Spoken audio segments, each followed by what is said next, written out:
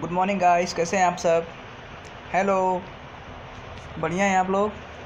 चलिए, आज हम लोग इस वीडियो में एक नया टॉपिक पढ़ने जा रहे हैं कंडेंसेशन पॉलीमर कंडेंसेशन पॉलीमर के बारे में आप लोगों को इससे पहले भी इन्फॉर्मेशन दिया था मैंने। क्या बताया था आप लोगों को कि कंडेंसेशन पॉलीमर जो होता है, ये वो पॉलीमर होता है जिसमें हमको एक जिसमें हमको दो प्रोडक्ट मिलते हैं। एक से ज़्यादा प्रोडक्ट मिलता है। ठीक है? अब इसमें जो है हमको दो प्रोडक्ट मिलता है, जिसमें से एक होता है मेन प्रोडक्ट और एक होता है साइड प्रोडक्ट तो देखिए आपके सामने स्क्रीन पर कंडेंसेशन पॉलीमर लिखा हुआ है।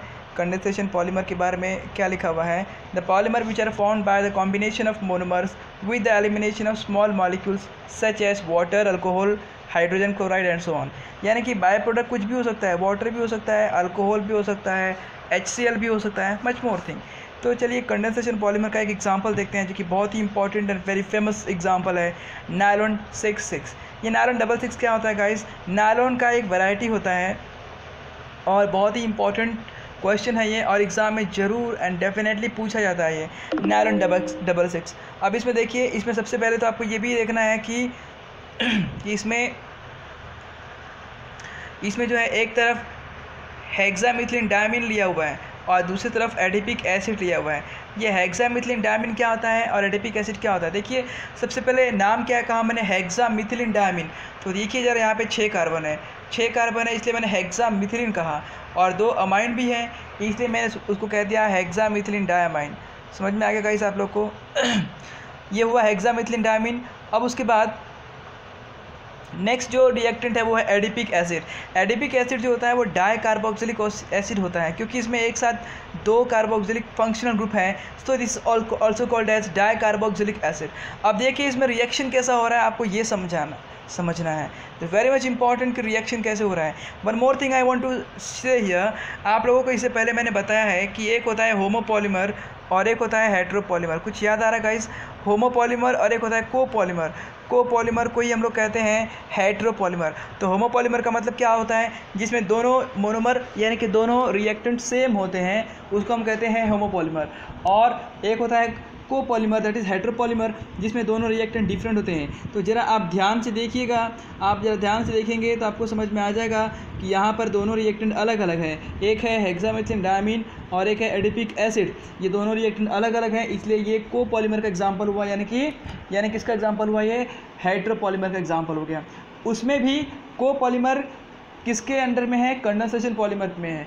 यानी कि आप इसका एग्जांपल कंडेंसेशन पॉलीमर में भी लिख सकते हैं और आप इसका एग्जांपल को पॉलीमर में भी लिख सकते हैं। आप इसका एग्जांपल हाइड्रो पॉलीमर में भी लिख सकते हैं। आप तीनों में लिख सकते हैं। तो चलिए गाइस हम लोग देखते हैं कि रिएक्शन कैसे हो रहा है। रिएक्शन को समझने की कोशिश करते हैं। रिएक्शन बहुत इंपॉर्टेंट है और बहुत हार्ड नहीं है, बहुत ईजी है। तो चलिए, आपके स्क्रीन पर ये रिएक्शन है और हम इसको समझने जा रहे हैं। ओके गाइस तो चलिए देखते हैं इसमें क्या लिखा हुआ है। सबसे पहले देखिए आप लोग। सबसे पहले आपके सामने ये हेक्सामिथिलिन डायमिन का स्ट्रक्चर दिया हुआ है।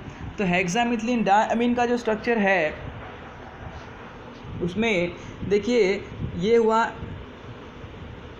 NH2 का हाइड्रोजन और देखिए, अब इसमें से क्या करना है, हमको एक हाइड्रोजन निकालना है। H2 में से एक हाइड्रोजन निकालना है। एक हाइड्रोजन निकाल लिया और यहाँ ये वाला जो OH है, ये वाला OH निकाल लिया। ये इसमें से OH निकाल लिया, ठीक है? तो ये क्या बना देगा? H2 बना देगा। तो एक H2 निकल गया।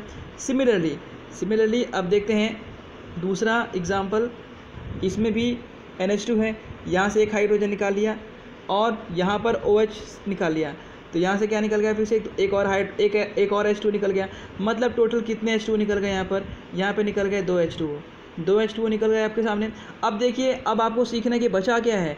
यहाँ पर अगर, यहाँ पर इस, यहाँ देखिए, यहाँ पर अगर एन एच टू था पहले तो अब क्या बचागा? यहाँ अगर एन एच टू था तो अब क्या बचा यहाँ पर? एन एच बचा। यस यहाँ पे भी एन एच टू था, यहाँ पे क्या बचा? एन एच बचा। यहाँ पर कार्बोक्सिलिक था सी ओ ओ एच था। तो अब सी ओ बचा, वो यहाँ पे सी ओ लिखा हुआ है। वैसे ही यहाँ पे सी ओ एच था, यहाँ पे सी ओ बचा है। इस तरीके से हमने लिख लिया और साथ में एन लगा दिया। एन क्यों लगाया? अगर एन नहीं लगाएँगे तो कैसे पता चलेगा कि वो पॉलीमर है? यस तो इस तरीके से हम लोगों ने ये कर दिया। अब चलिए थोड़ा सा इसको और देखते हैं बढ़िया से। देखिए, इस तरीके से हम लोगों ने, इस तरीके से हम लोगों ने ये पॉलीमर कैसे बना है ये समझ लिया है। फिर से देखिए, यह है हेक्सामिथिलिन डायमिन यह है एडिपिक एसिड और इन दोनों के रिएक्शन से एच टू निकल रहा है। देखिए, अब आपको ये भी ज़रा ध्यान देना पड़ेगा कि यहाँ पर अगर पॉलीमर बना रहे हैं तो रिएक्टेंट जो है रिएक्टेंट भी एन टाइम्स होना चाहिए और प्रोडक्ट भी एन टाइम्स होना चाहिए। मतलब मतलब ये कि देखिए, यहाँ पर एन लिखा हुआ है, यहाँ पर भी एन लिखा हुआ है, ठीक है? और यहाँ पे लास्ट में एन लिखा हुआ है। यहाँ भी एन लिखा हुआ है। समझ में आ रहा है आप लोग को? एन का क्या मतलब होता है? एन का ही मतलब हुआ कि पॉलीमरिक फॉर्म में है वो। ठीक है इस तो इस तरीके से हम लोगों ने नायलॉन सिक्स सिक्स बना दिया। अब हमको सोचना ये है कि कि नायलॉन के बाद ये दो बार सिक्स क्यों लिखा हुआ है? तो मैं बताना चाहूँगा, देखिए ज़रा यहाँ पे यहाँ पे ध्यान दीजिए। इस तरफ़ कार्बन गिनिए, इस तरफ़ छः कार्बन है। यहाँ पे देखिए छः कार्बन है। छः कार्बन है। अच्छा अब ज़रा यहाँ देखिए। सेकेंड पार्ट में देखिए। सेकेंड पार्ट में देखेंगे तो आपको समझ में आ जाएगा यहाँ यहाँ टोटल छः कार्बन है, कैसे? ये सी ओ वाला एक carbon C H two four C H C C H two by four ये पाँच हो गया, और ये CO वाला एक कार्बन यहाँ पे भी टोटल छः कार्बन है.